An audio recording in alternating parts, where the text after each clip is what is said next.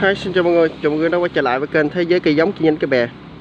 Hôm nay Thế giới chi nhánh cây bè giới thiệu cho mọi người top hai loại cây vú sữa được trồng nhiều nhất hiện nay. Trước mặt mọi người đây là top 1 là vú sữa mika.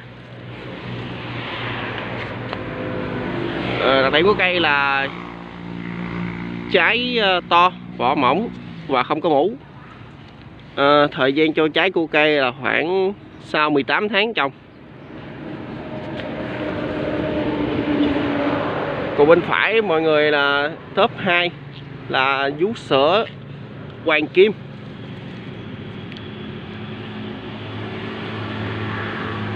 Đặc điểm của cây là trái à, khá là to và đặc biệt cũng à, không có mẫu.